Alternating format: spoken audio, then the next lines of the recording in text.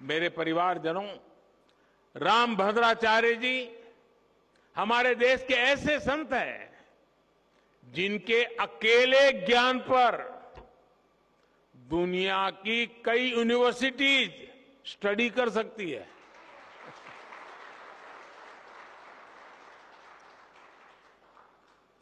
बचपन से ही भौतिक नेत्र न होने के बावजूद आपके प्रज्ञा चक्षु इतने विकसित हैं कि आपको पूरे वेद, वेदांग कंठस्थ है। आप सैकड़ों ग्रंथों की रचना कर चुके हैं।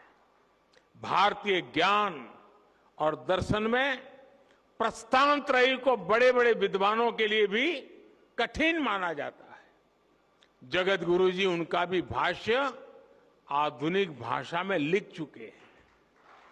इस तरह का ज्ञान ऐसी मेधा व्यक्तिगत नहीं होती। ये मेधा पूरे राष्ट्र की धरोहर होती है।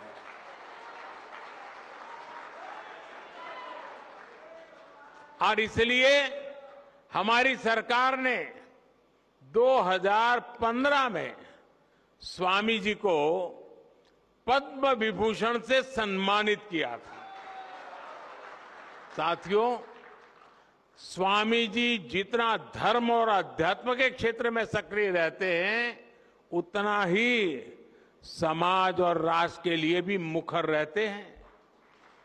मैंने जब स्वच्छ भारत अभियान के नौ रत्नों में आपको नामित किया था तो वो ज़िम्मेदारी भी आपने उतनी ही निष्ठा से उठाई थी। मुझे खुशी है कि स्वामी जी ने देश के गौरव के लिए जो संकल्प किए थे, वो अब पूरे हो रहे हैं।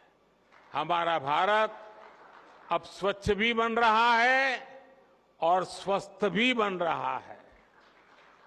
माँ गंगा की धारा भी निर्मल हो रही है।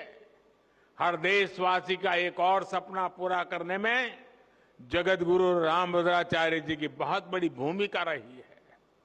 अदालत से लेकर अदालत के बाहर तक, जिस राम मंदिर के लिए आपने इतना योगदान दिया, वो भी बनकर तैयार होने जा रहा है।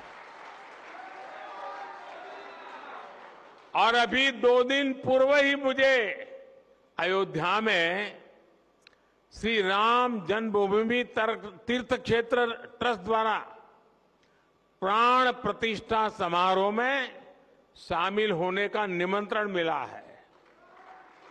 इसे भी मैं अपना बहुत बड़ा सौभाग्य मानता हूँ।